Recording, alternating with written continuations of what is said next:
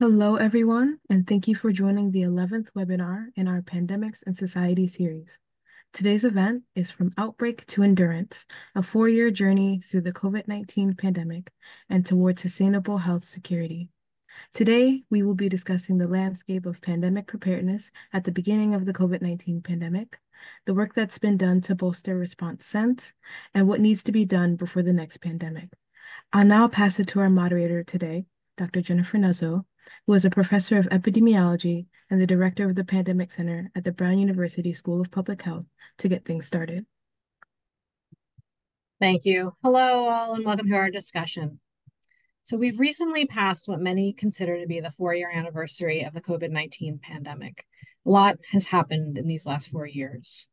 We, of course, know that more than 7 million deaths have been officially reported across the world, and we also know that this number is likely a vast undercount of COVID's true tolls. Um, more than a million of these deaths occurred here in the United States. Countries around the world have experienced historic declines in life expectancy. Generation of children had their education and social development disrupted and are struggling to catch up. There have also been important political and economic tolls that we are still unpacking. There have also been some positive developments. Uh, new tools like vaccines, therapeutics, and tests, an enhanced understanding of the threats that infectious disease pose, and also what we can do as societies to prepare, prepare for them. So, what we'd like to do today is to reflect a bit on what has happened over the last four years, take stock of where we were, what the challenges were, but most importantly, we'd like to look ahead to think talk about some of the things that we need to do to make sure that we never again experience a situation in which a pathogen upends our lives and our livelihoods. Uh, talk about what still needs to be done um, and what we've learned along the way. So to have this conversation i'm joined by my three brilliant pandemic center colleagues. Um, we have with us dr seth berkley who is senior advisor to the pandemic center. Um, many of you know the role that um, seth played as uh, head of gavi and um, the Vaccine Alliance, uh, which ha really has had a, remarkable uh, track record in terms of millions of um, lives saved due to um, advancements in vaccines, uh, vaccine allocation. We also have with us Dr. Beth Cameron, who's professor of the practice and senior advisor to the Pandemic Center. Uh, Beth is uh, expert in many things and has a long history uh, working in government, the White House, Department of State and Defense, uh, has um, really uh, been uh, an architect of thinking about global health security and biodefense, uh, and he'll have a lot to share with us. And uh, Dr. Craig Spencer, who is an associate professor of the practice of health services, policy, and practice. Um, Craig is also an affiliate of our pandemic center. Uh, he's an emergency medicine physician and has dedicated his career to improving uh, general health outcomes and infect fighting infectious diseases, both here and abroad, in, in a, a, variety of settings, and has a lot to share with us as well. So, um, with that, thank you all for joining us today. Uh, you have a lot of things to weigh in here about.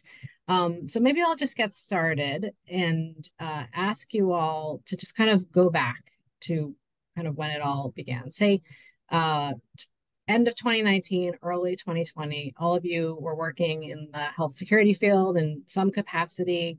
And just kind of like remind us where were we as a world in terms of pandemic preparedness then? Uh, where do you think we were? Like, what did we get right at that point? Um, but where do you think the big gaps were at that point? So um, I'll let whoever wants to chime in first, please do.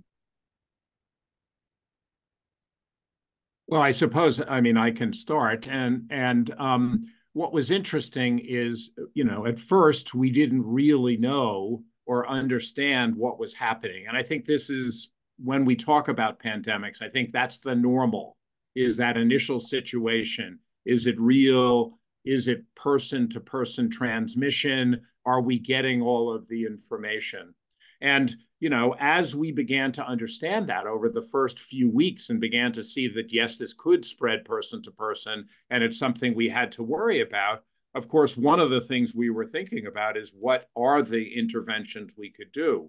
And, and I think one of the things to, to emphasize is prior to this moment in time, a vaccine, of course, is the most important tool you have to prevent viral infectious diseases but it had taken the fastest they had ever been done at that point was four years. And most took 10 years with a high failure rate et cetera. So as people were beginning to think about this is oh my god we have this new disease panic as it starts to spread around the world and a view that yes vaccines are important but it's going to take us that you know very very long period of time. So one of the good things that happened was the 327 days of the first vaccine being produced from the mm-hmm. time the genomic sequence was there until it was given outside of a clinical trial. And I don't think anybody could have predicted that. Now, of course, we're trying to do better today with a 100 day plan to do that.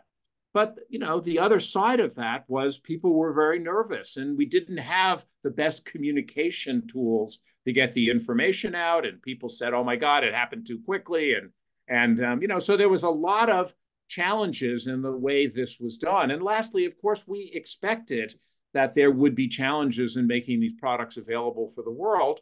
And it turned out that's exactly what happened. And we saw some of the worst things, which were, you know, export bans and, and vaccine nationalism um, um, that went in place. So I think one of the things we have to think about is have we learned from that? And I know we'll get into that here. We're in the midst of discussing the pandemic accord. So I think some of those are the reflections I have now. One last point would be um, what was really um, exciting was all of the research that went into vaccines. And mm-hmm. now we're having a renaissance in vaccine technology. But of course, given also the vaccine hesitancy that exists, you know, how is that going to be taken forward?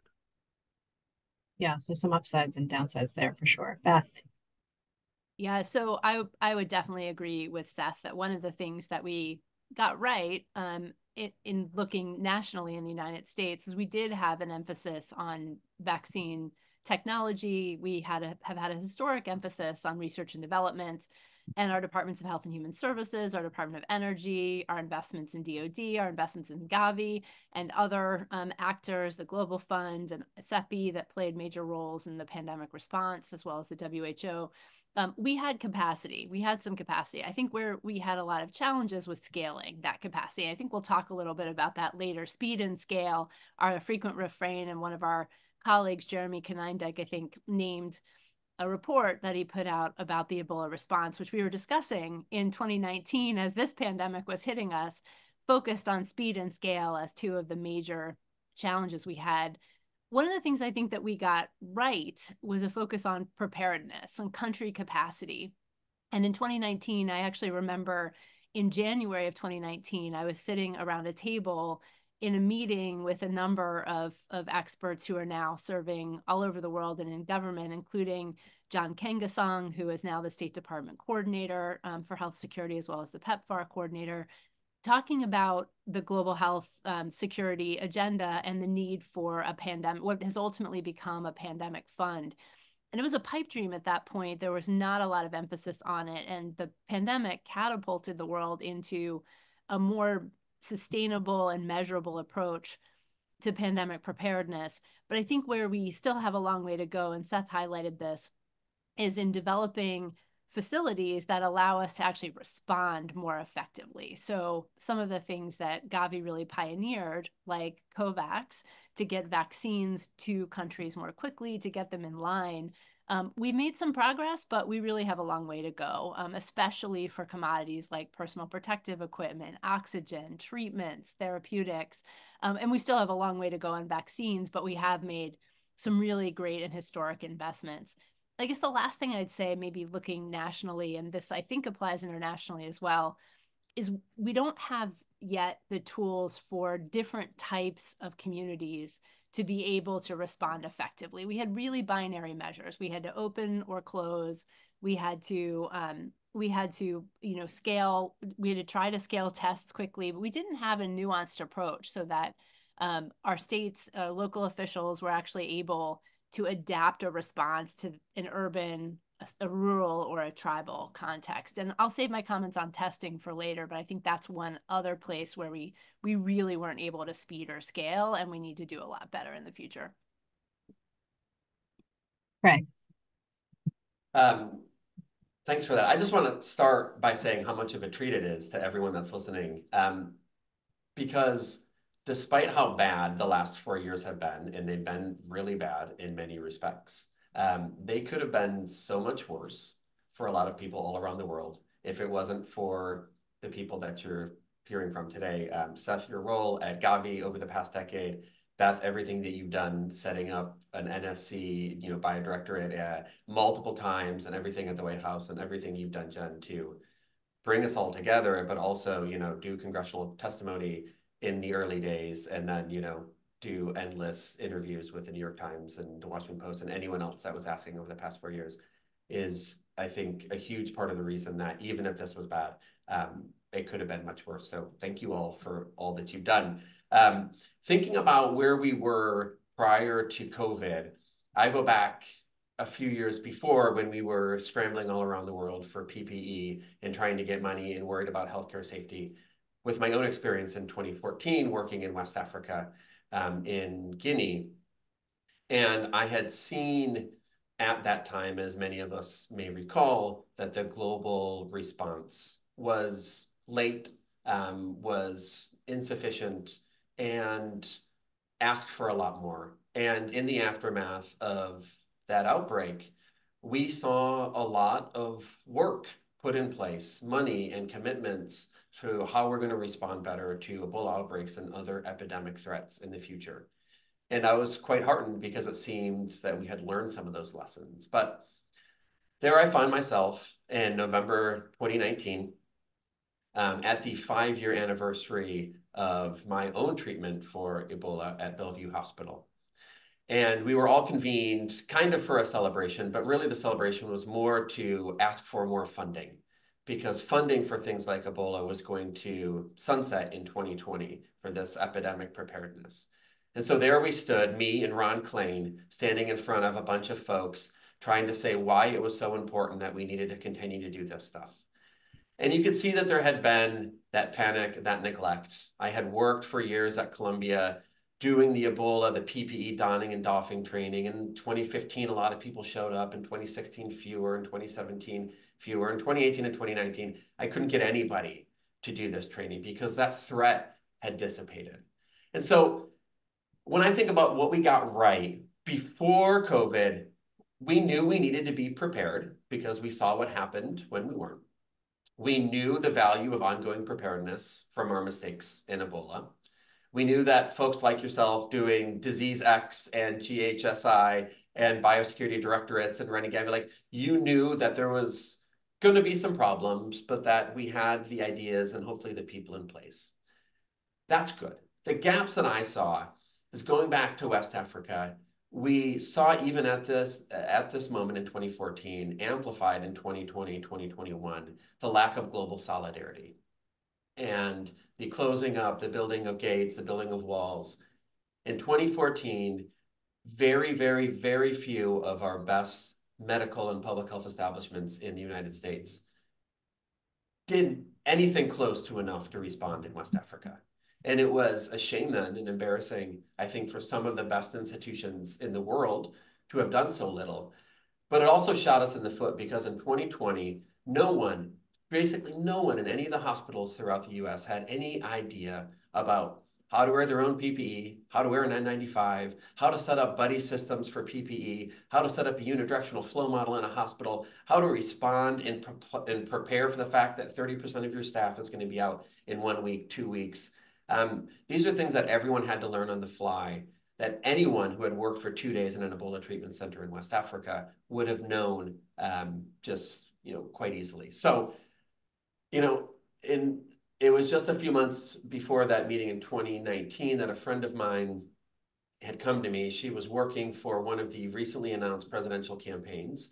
And she was talking about all these things that were really important that this candidate needed to be focusing on. And I said, well, what about pandemics? And she said, and this is an ER doctor. We were in the ER talking about this. And she said, what do you mean? I said, we're not at all prepared for a pandemic. I remember her eyes getting big thinking, well, I hope that doesn't happen. Um, so I'll pass it back to you, and then we can transition to talking about 2020 and what it was like in the hospital. Yeah, that's the kind of thing that no one wants to be right about for for sure. Um, and thanks for that. You, I mean, I think you've really kind of told some really important, like altering moments of of you know that you would revisit later on. I, I'm I'm curious. I'm I'm a big fan of sort of storytelling and um, sort of capturing the moment in a in a particular story. And I'm I'm curious for the three of you, sort of moving forward. So we're we're in the pandemic. Is there any particular moment that jumped out at you that you will never forget, where you thought like either we've got this or wow, this is not going at all according to plan? Um, and maybe just you know to help you think, I'll I'll share with you mine. Um, there were two. Uh, for me, there were two moments where I just thought this is a total debacle. One was seeing news footage of a completely empty Times Square, New York Times Square, having once lived and been an epidemiologist in New York City, never ever being able to wrap my head around something like that. At that moment, I thought, wow, this is just extraordinary. The other one came not long after that, uh, when my kid's school announced that it was closing, and I got a text from a mom friend who you know, complained. She's like, I don't know what we're going to do. They're going to close the school for two weeks. Two weeks. How are we going to handle this? How are we going to get through two weeks? And I remember replying to her, it's not going to be two weeks. It's going to be longer. And just thinking, wow, what it, what's where does this all end? How does this all end? So um neither of those in, in neither of those scenarios had I envisioned the COVID vaccines. Um, so I'm very um, glad to have been wrong in terms of where my initial thinking of where this was all going to end. Um, but anyway, I'll, I'll turn it over to you. Who anyone else has some some moments to share? Well, I just want to comment on on Craig's comments because I think it's so important. I would have thought. I mean, and you you go through the cycle of panic neglect, and after West Africa, I mean, you know, I did a TED talk and I had a montage, and it was the ISIS of infectious diseases, you know, the disease of the decade, you know, and of course, you you went to uh, professional things, and it disappeared completely from the list of risks for the world. What surprised me the most, I think, is is in a sense where we are with COVID now so people don't want to talk about it. They don't want to think about it. They don't want to measure it. And in fact, we're back in that neglect phase of where we are with a disease that stopped the entire world. To your to your story, Jen, about you know what happened. I mean, everybody in the world was influenced by this. But now you talk to political leaders, you talk to people, and they're like, we'll never do this again. This, I mean, when somebody says to me, we will never require masks, we will never close a school, you know, my rejoinder is, well, what if you have a 40% mortality disease or a 70% mortality? Is it really never? And, and so I think one of the challenges, and this is why the, the center is so powerful to me, is is in peacetime, how we're thinking about this and how, we, you know, we don't want to scare people to death, but we also don't want to, Craig's point is, is, you know, we're back to, oh, we're not going to do anything. We're not going to prepare. We're not going to set the systems up. Um, we're not going to learn. And, you know, if this is inevitable that we'll have more of these. So for me, that is such an important part of the, the lessons learned and it speaks to Beth's earlier point about the problem with this like binary characterization of things. Like you either shut it down completely or you don't care at all. And the reality is uh, that's not what happens. Um, that we need to find a middle path for sure. Yeah, there's not enough nuanced conversation or like room to have conversation, even where reasonable people can disagree. And there was a lot of room for reasonable people to disagree about pandemic response, but we need to be able to have the conversation about what works in different communities and different settings without saying that it's not important. Because as seth rightly said we don't know what's coming next. We really on it one thing that i learned from this pandemic is we really don't know what's coming next and we we need to be prepared for that eventuality. Um, i'll just give maybe two examples. One is just more of a picture in my mind um, I was working at the Nuclear Threat Initiative during the pandemic and I was running the biological programs. And so I was turned to for advice about pandemic preparedness and response. And I was doing a lot of, as many of us were, doing news interviews in March when everybody shut down.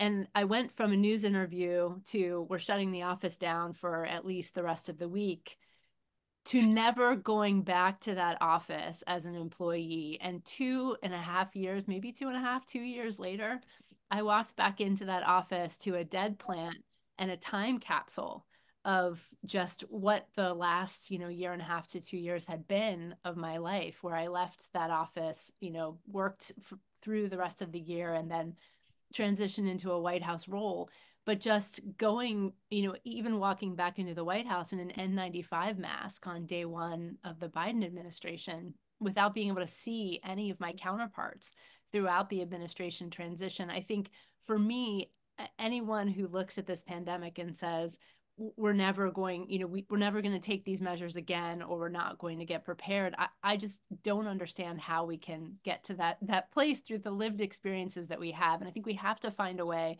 to tell these stories um, and be able to to um, to look back at what we got right and what we didn't get right with a reasonable eye so that we can we can move forward um, craig your story and kicking it back over to you um, is so in- incredibly poignant to me because you are a national hero who went, to, you know, to West Africa to treat patients, came back with Ebola, um, and then have gone on to try to train other people. I think it's it's. I'm actually quite worried that we're not prepared for Ebola epidemics or for Ebola cases to come to the United States. It's a disease we see regularly. Um, it's def- we're definitely going to see cases again in the United States, and I think we need to be prepared. Um, how are you thinking? How are you thinking about this? Um, concerned for so many reasons. You know, yes, if a case of Ebola showed up tomorrow in Providence or wherever, you know, wherever, yes, there may be other cases. I mean, the reality though is that with, you know, universal precautions and the fact that we have so many resources and supplies, like we figure this out pretty quickly and there sure would be a lot of panic and there'd be people that wouldn't show up for work and there would be chaos for a bit but it would be nothing like the chaos that we saw in DR Congo with the second largest outbreak, the confusion and uncertainty, you know, recently in Uganda, especially with the fact that, you know, we have these wonderful countermeasures now, right? Vaccines and some monoclonal antibodies, but most of them aren't in the place where they're needed. Um, they're here. And so just like when I was in the hospital in 2014 and you know, there were providers in West Africa who were being denied medications for ethical reasons or because of lack of access. You know, I was being told that, you know, it, after it was clear that I was going to survive, that, you know, the FDA could probably find a dose of this medicine and given it, get it driven down for me. Like so much of my concern is not necessarily on our own preparedness here, of which I do have some, but on the inequities in terms of our preparedness and our willingness to stay prepared here, which still is not enough or adequate, but it's going to be so much better than again the resources and the mental resources that you know so much of the global community seems to be willing to put in place for a lot of the other countries and health you know systems that I've worked in over the past you know 10 15 years so I think that's my biggest concern when I think about you know your initial prompt of what was it that made me sit back and think, well, this is going to be a problem? Um, there were many, you know, my friends were living, I'd lived in China beforehand. I had friends living in Beijing that called uh, called me in January and they're like, I don't know what to do. Should we leave? Can we leave? Um, my wife was definitely the the crazy lady at Trader Joe's in like end of January, early February with like two carts full of stuff, including toilet paper. She's like, you have no idea what's coming, you know, what's coming. Um, so I feel like I was too much on the inside to know, which in mid-March, as we were waiting for kind of this COVID deluge, you know, four, it was four years ago today that I tweeted, um, what I write, finally home after 13 hours in the ER. Today, 90% of my patients were confirmed or likely COVID, many really sick, some in their 30s like me. The sirens on otherwise empty New York City streets are unending and haunting. I'm tired, but back in the ER in the morning. And that was like seven seconds of, you know, me just being like, yeah, this is it, not realizing how this reality had not sunk in for other people. So for me, I had been aware, I had been concerned, just like many of you for quite some time.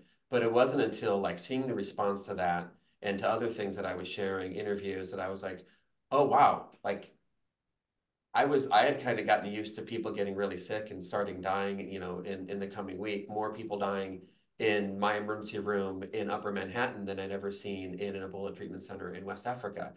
But it happened in such a way that it almost, I, I guess I was less surprised.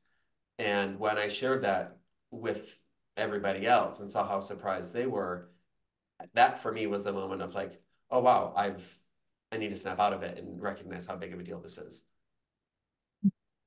Jen, can I jump in on that too? Quickly, Please. just say, like, with a huge dose of humility myself, looking at at the moment that Craig is mentioning, and me reading Craig's tweet, um, he struck a chord with me.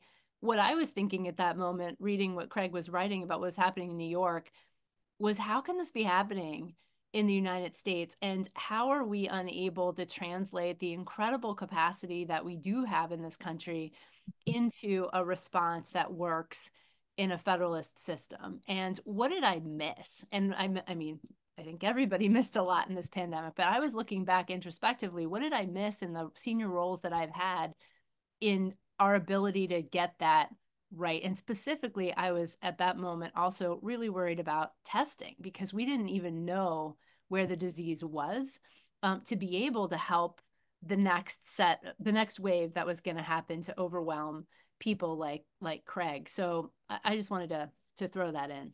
I think there was a fair amount of denial about how the U.S. was going to be affected. I I remember talking to some um, state health leaders before you know, before the shutdowns, before everything, about what are you doing to get ready, and like getting people blinking, you know, at me, like thinking like, what what do you mean? What are we doing to get ready? That's that's a thing over there. you know like th- there were there was a period of time where people were looking at it like it's over there. It has what do you, you think it's coming here? But we, we're we're to shut down travel. We're to you know. Uh, so i think there was a period of time where it didn't dawn on enough people that this was going to be something that would mark require that that every country was going to be affected by that this wasn't something that you just stop a few planes and you're going to prevent it from going. That it was probably already here but we weren't seeing it because we weren't yet testing. We were only testing people who had traveled. We were in no way doing the kind of testing that would allow us to figure out if it's even here yet and spreading.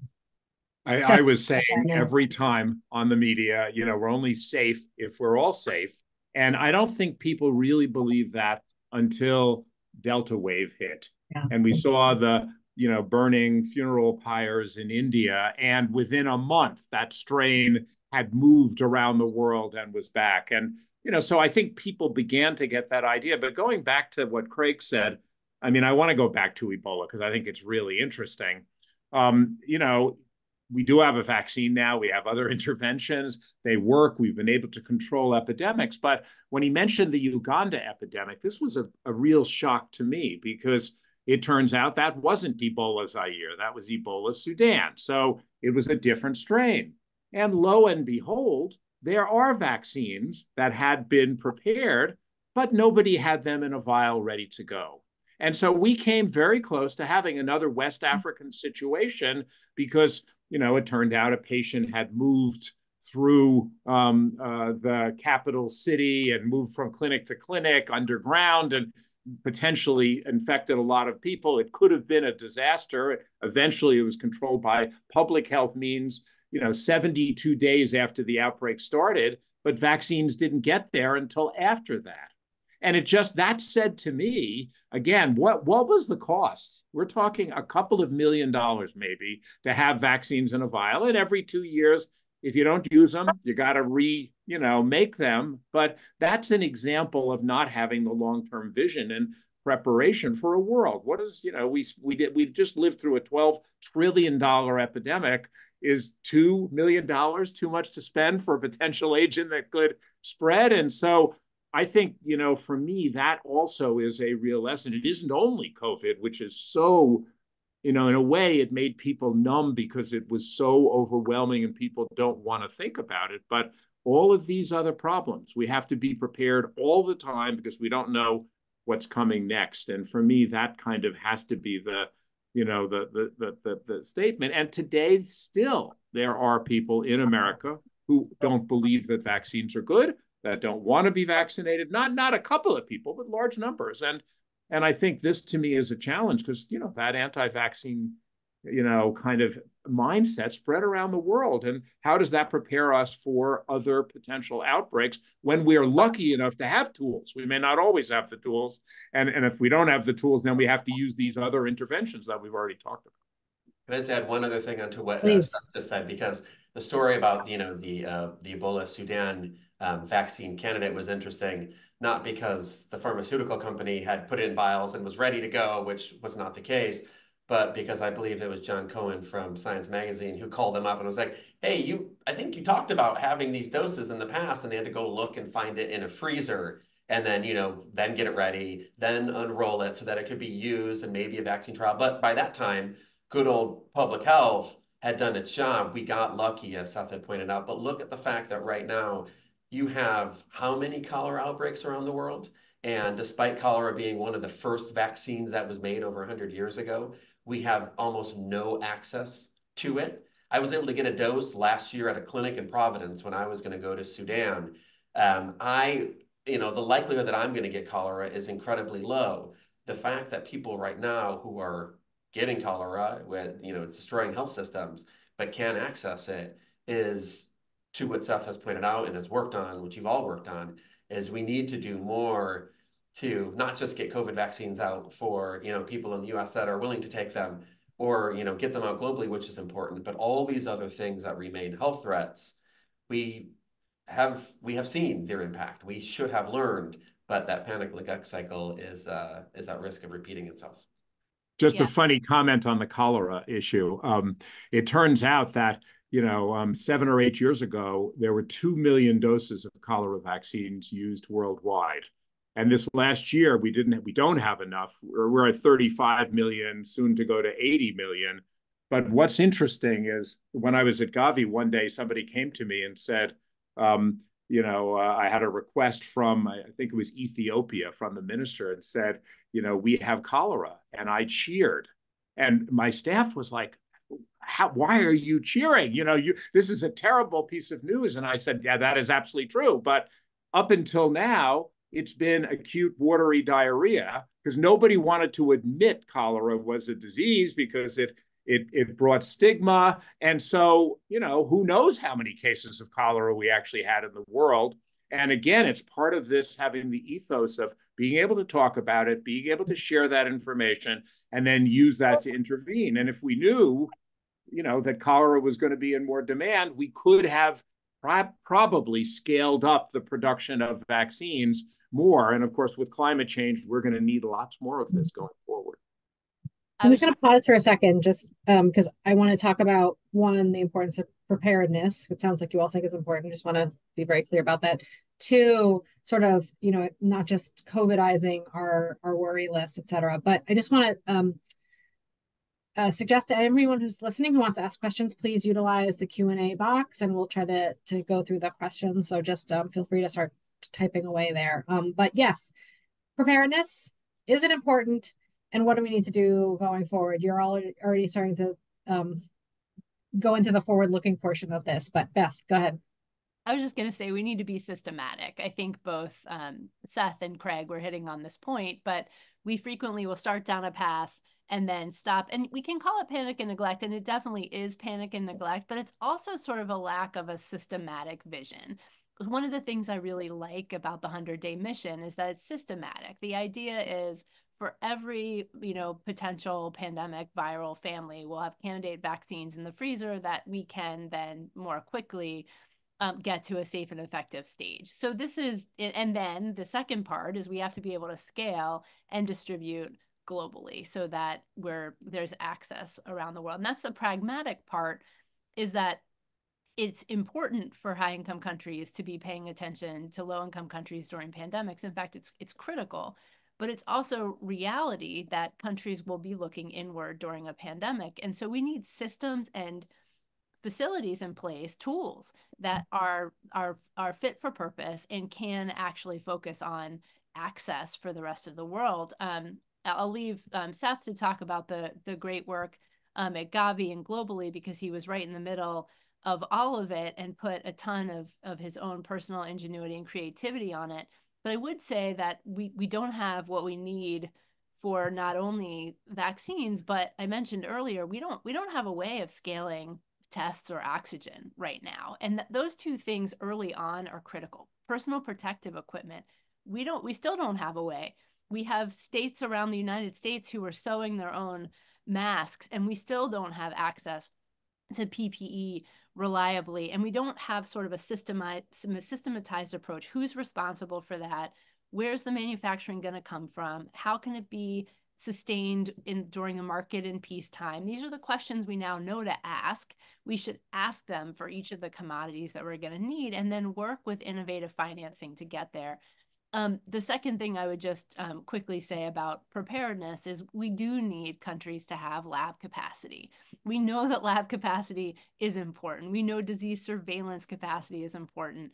And we need all countries around the world to be live to worst case scenarios. So we need and the next generation of decision makers to be thinking at that very early stage when many of us around the world were looking and thinking it's already here. Why are we still talking about covid like it's an over there problem? It's obviously already hopped a flight to the united states. We need decision makers around the world to be thinking that way all the time. And so that means we need opportunities for people who are interested in national security international security public health um, global health. We need those people to be thinking what could be happening and to be able to talk to decision makers. That's something we're focusing a lot of time and attention on at brown is how do we integrate some of that training and provide um, students with operational experiences. If There's i can if i can jump in and I'll, I'll say something about vaccines since you set me up for that but i want to start with testing. And you know one of the frustrations is you know, we now have a world in many places where people actually know how to self-test. I mean, this is, you know, a change that occurred. And and what's interesting about that, we didn't really figure out how to get the data from that to help us, you know, uh, track the disease when people are positive at home, but nobody knows about it, and it it doesn't help us. But we also haven't advanced those tests. So what I want is a test that has influenza, COVID, and let's say RSV on it. Here, you know, here. easy, cheap to do. But why? People say, why is that important? Well, if you have influenza, there are treatments available as well. And if you if you test yourself against COVID and it's negative, you don't the next day test yourself again. The next day test yourself again if you're positive for RSV or or or for flu. So you know, getting beginning to take these tests and use them as consumer tests would help us be prepared in the future. So just to say a couple of things on on vaccines that were very interesting. Um, you know, uh, routine vaccine coverage globally went down during the pandemic, and that was a tragedy. People didn't get immunizations. And so people focused on that, and it's right to mm-hmm. focus on that. But what was extraordinary was the delivery of, of vaccines by these small teams and the resilience of those health systems. So if I look at, you know, the, the poorest countries in the world, you know, they've over time delivered more and more doses of vaccine. But for example, um, in 2020, you know, they, they went from 900 million in 2015 to 972 million doses in 2020. In 2021, they delivered 3.1 um, you know, billion doses of vaccines. Same team, same people. And yes, routine immunization went down because they were being pulled over. But one of the challenges we also have to talk about the the um, the heroism that occurred during this period. I mean, you know, we talked about what Craig did and the and the health workers in the U.S., but around the world, we had teams that were able to respond. The question is, in peacetime, again, how do we prepare and say, okay, where's the list of all the doctors and nurses? Who has cell phones that we can get in touch with? How do we have needle free delivery systems or other tools that people can use? And again, these are all part of a systematic preparation that that um, that that you talked about, Beth, that is going to be so important as we think about being prepared for whatever the next pandemic is going to bring. So I'm hearing systematic preparation, that sort of pan threat, right? Because it's we don't know what the next uh, pathogen is going to be. I'm hearing the last one was supposed to be flu. If you remember, right, exactly. we were all prepared for flu, and it was COVID. You know? because we have some some great examples of the technology being developed, but the systems to enable the technologies to reap their benefits very much need to be built and maintained. Um, we also have themes emerging from these conversations about sort of national preparedness, and I think we have some good examples of you know challenges and stumbles in in epidemics. But boy, when you make a globe a global situation like a pandemic, and every country's in it for itself, and every country is wanting the same things, there are efforts where countries are going to be you know they have to they have to be ready they have to be prepared obviously there's more work we need to do to be able to support that enable it and, and to deal with the equities issues that that invariably will come up. But uh the the challenge with pandemics is the kinetics of the response change. It's not like there's this geographically limited event happening and we could take resources from some part of the globe and bring it to another part of the globe. It's it's everything is the same stuff is needed everywhere. Absolutely. What else did I miss, Craig? You know, thinking about this this toward the future prompt or you know what we need to be thinking about next. Um, I I think of the strategic and the systematic planning. I think about what Beth has mentioned a few times, which is a unified response. I'm thinking about a unified response at even a more local level, like down at a community level, or even, um, you know, for example, during COVID in 2020, I worked at one of the largest health systems in the country, which was right down the street from one of the other large health systems in the country, which was across town from one of the other largest health systems in the country. And our ability to communicate during that time was little, if none at all. Um, we were not sharing patients. Um, there were there were methods and attempts put in place to try to make that happen, but we were not a cohesive whole responding to a unified threat, something that was tackling and bringing down all of New York. We had multiple health systems trying to manage it in different ways. And part of that is the way healthcare is set up in this country in, you know, pandemic mm-hmm. peacetime but we need to think better about how we convert those mechanisms at time of great need. And part of the problem, as you pointed out, Jen, was that you'd get the blank stares like, it's coming here. It's going to be that bad here. I remember even in mid-March trying to convince hospital leadership, like, we're going to lose 30% of our staff starting in a week or two weeks. We are going to be 30% down. Like, what is our plan for that?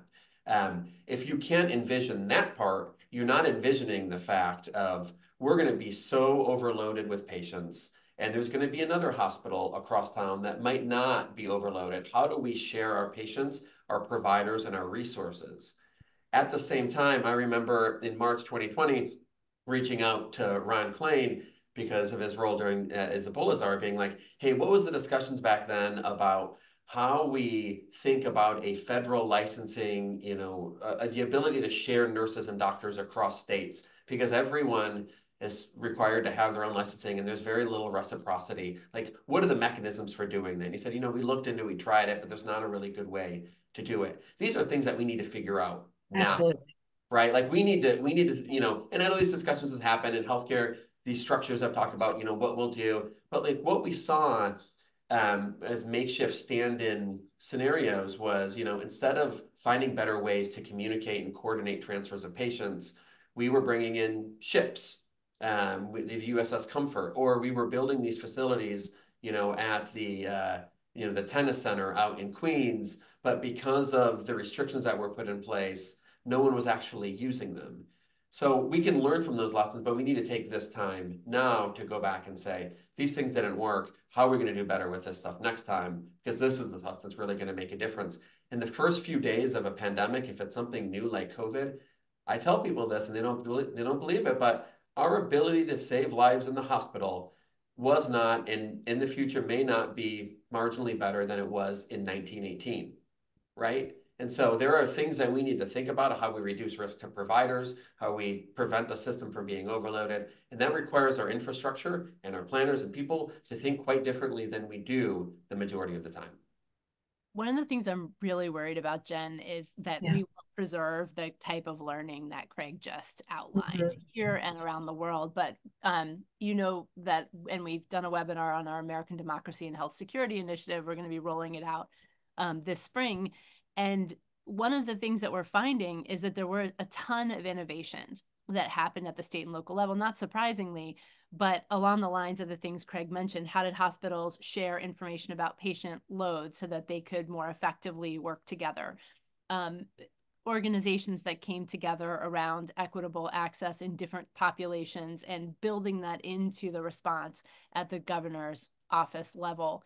Um, innovations around modeling and testing that that surfaced and some of those were bespoke for the specific population and, and group and system or state but a lot of them were similar or replicable honestly and there are there is a lot of learning and sustainment that could happen but we're at risk we're losing so many people from burnout and also just natural change in in careers and jobs that we're not going to capture some of this um, and so that's something that we are we're really interested in doing and i think just as a as a call out to our listeners um, we'd love to hear more about your experiences um, in the pandemic and things that you think are replicable and sustainable so that we can build them in uh, build them into our efforts and then the other thing that we're missing jen that we spend a lot of time on here at the center is um, is something worse than covid so we are worried about the possibility of a of a of a of a pandemic flu or a, a disease that might be more transmissible or more virulent. We're also worried about deliberate and accidental risks um, and um, other um, ways in which the pandemic might be worse than what we saw in COVID 19. And to be able to prepare people for that, but also to get upstream and ideally prevent that by building biosafety and biosecurity capacity into our systems. Those are other neglected areas that I think we need to spend some more time on. And I completely want to you know foot stomp about the the need to make sure we don't forget the lessons that we've learned I, I remember actually just before the pandemic having published a study where we had asked uh, health departments around the country around the us um, if there were to, going to be a pandemic how ready would you be to rapidly vaccinate your population? And um, the, the answer was not ready but um, part of what we were hearing was you know we think that this was done in the last pandemic in 2009 and so there there there were plans then. And so we'd ask well you know where are the, do you have those plans? Could you dust them off? And they're like you know the person who worked on that isn't here anymore. But we think the plan is somewhere. And that was really i mean i bet if we asked those same questions now we would get a lot of those same answers. The person who worked on this then isn't here anymore. So we very much have to capture that. I do though want to like raise something that's come up and it's uh, in one of the the questions that's in the the q&a box is about sort of like the public fatigue and like compliance with public health recommendations and what we do um, going forward. And seth you referenced you know um, people thinking well you know people saying never we're never going to do that again. Obviously we want to move away from these these binary things. I will just say you know for me when i re- mentioned seeing you know pictures of an empty new york times square i mean i don't think that approach is what we should in any way be aiming for, right? The idea of having to shut down society is not the goal. Um, the idea is to prepare such that we can be resilient in the face of these threats or prevent them from happening so that we don't have to upend our lives in a way. Um, but it's going to require work and it's going to require trying to figure out what are our broader menu of options besides just shutting down New York Times Square and shutting down our our kids schools for a year plus it's going to require investing in the tools and the systems um, to enable us to be able to respond and Craig to your point about healthcare you know we spent a lot of time talking about um, flattening the curve and that concept was about trying to kind of not ultimately change the number of infections, unfortunately, but kind of spread them out over time so that we wouldn't overwhelm what was already a very vulnerable, not very um, resilient health system. And not a lot of effort to figure out how to lift the line, which is yeah. what we were trying to flatten the curve beneath. Um, yeah, and I worry going forward that, you know, we see every flu season health systems tipped into to crisis. Obviously, that's over a much shorter period of time. And um, flu is uh, so far in recent years not been nearly as deadly as COVID 19 um, was before vaccines. And so, but we now have lots of respiratory viruses to contend with at once and the potential for new and worse scenarios to also occur. Uh, I see another question popping up here um, about uh, um, HIV care networks. So COVID being not the only pandemic people are are living with, and wondering how HIV care network affected impacted COVID responses. Um, maybe a few things. One is just uh, your thoughts on kind of, and I think you've referenced this a bit, kind of talking about these systems that you know maybe were built for one thing but um, put into place for something else, and sort of what that value was. Um, but also maybe reflecting on kind of a vision of preparedness that isn't just singularly focused on a particular pathogen and maybe you know more encompassing of the totality of health needs of a community. So anyone want to chime in on that? Maybe um, I can jump in on a, on a couple of points because I also don't want to be overly down on. We've talked about a lot of things that haven't worked. There are lessons learned and, and there are things that are happening. And I talked about the resilience of, of health systems. One of the things that we thought of, given the way Gavi worked, was it was a network of institutions. It isn't, you know, an institution. It's WHO and UNICEF and the World Bank and and the Secretariat working together with civil society and others. And so what's been set up since has been funding to allow that network to keep talking, to keep sharing their lessons learned, to have, you know, the pieces that had to be generated during the pandemic to have those ready to go again. And I think that's an important investment that needs to occur, as Beth has made the point, not just in vaccines, which was ahead of the curve, but in treatment and um, you know in in diagnostics as well. So I think that's something we can do. Another thing that was done is we had lopsided manufacturing of vaccines around the world. There was enough vaccines in 2021 to vaccinate all the high risk people in the world. Of course, that's not what happened, but they were there would it help if we had more distributed manufacturing? So again, now there's an effort to try to move to the places, particularly Africa, where there is not a large scale manufacturing now to, to open up some new manufacturing facilities, an effort that'll take some time, but will be really important as we think about that. And then the other lesson I really liked um, was, you know, when we started and I was doing the fundraising for global vaccines, we had zero money for that at the beginning and we had to fundraise and of course you can fundraise but even when you get a yes it still takes time for the money to come into your bank accounts so now there is a zero day facility to jumpstart and a, a number of innovative um, uh, institutions beth's been involved with working on some of these that are standing by so that you can take that money available immediately and use those innovative financing facilities to make enough money to get things jump started. Now, those are just a few concrete examples of things that can really be done. A question on HIV, the HIV system was used for some um, system strengthening in developing countries and caregivers and others. And it is really an all hands on deck. The thing you have to keep in mind, though, is to make sure that we also continue to provide the services, for example, for HIV, because when you disrupt those services, you of course cause deaths from that.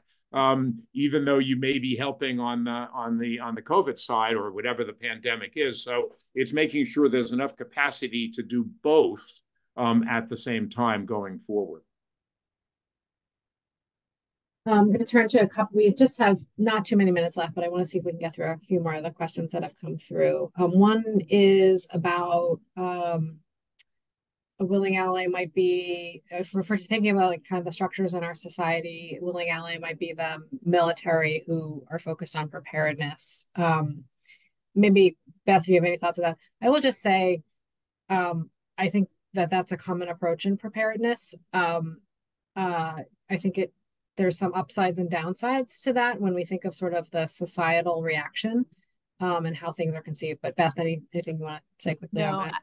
I'd say the same thing. I think that the the military and the Department of Defense more broadly, not just the military, but the whole structure of the Department of Defense does provide a lot of core capabilities that were really helpful during the COVID pandemic and and for health security capacity to include their ability to to work quickly with contracts, their ability to scale, their ability to help people, their ability to work with the National Guard. All of these things that we needed. I think that having the Department of Defense lead on a response is challenging in a number of different communities um, because it can increase fear, it can increase stigma, and um, in some countries, it's just not possible because it really, um, you know, it really incites incites more more fear and concern in people than than help.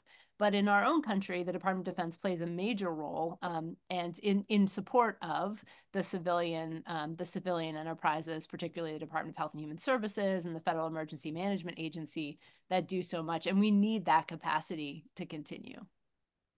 Um, there's two other questions here. I'm just going to read them, and then if anybody wants to quickly react to either of them, um, one is what about adding COVID 19 component to seasonal flu vaccine? And the other one is um, about uh, work to address uh, public fear and stigma. So on the on the uh, adding COVID to seasonal flu, there are a number of manufacturers that are now working on having those two vaccines. What we really need, though, is another revolution. We need vaccines that protect against all strains of COVID and that protect against all strains of flu. And those are theoretically possible. And so we need a really you know, more aggressive research effort using the best science that exists today to try to be able to do that. Just add something. I don't I don't know about the vaccines, but in terms of fear and stigma and thinking about what lessons we take from this and maybe some of the main points from some of the questions that are there.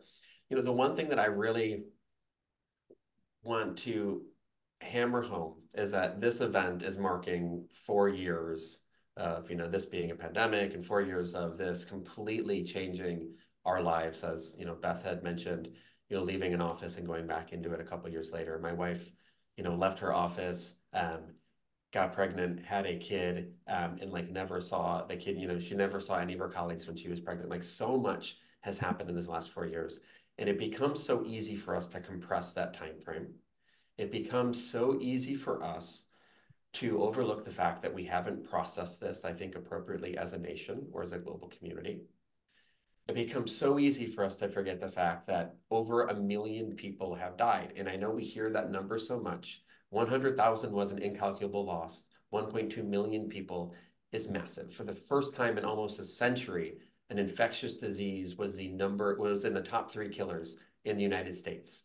And then it happened for years in a row, despite the fact that we had an unbelievable and unprecedented push to get people vaccinated. Um, as I said, I saw more people die per day in March and April 2020 in one of the best hospitals in the world than I saw in tents in West Africa.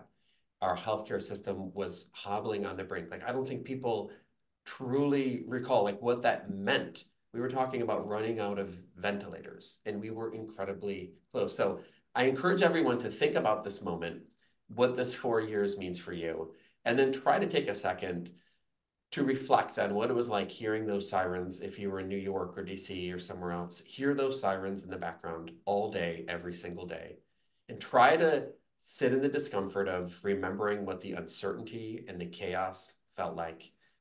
And then try to bring that together with the fact that the prevailing narrative right now is that the people who led this through the last four years, who shepherded through this, were wrong on nearly everything and shouldn't be making many of these decisions in the future.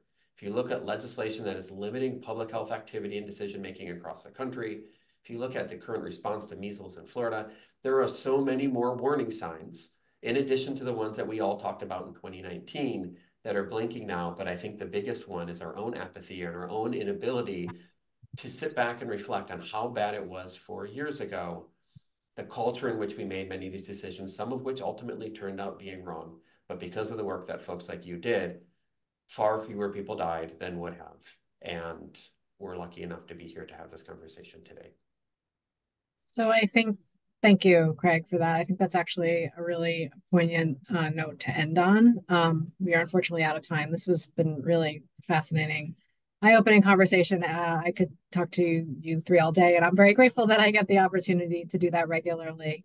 Um, I just want to really thank you for the, taking time to share this uh, these thoughts publicly. Um, thanks to everyone who attended today. Very much appreciate um, your participation and um, great questions. Uh, I'd also like to thank my team at the Pandemic Center who helped put this event together, Bentley Holt, Leah Lovegren, Carly Gaska, Andre Ulig, and Aquila Person.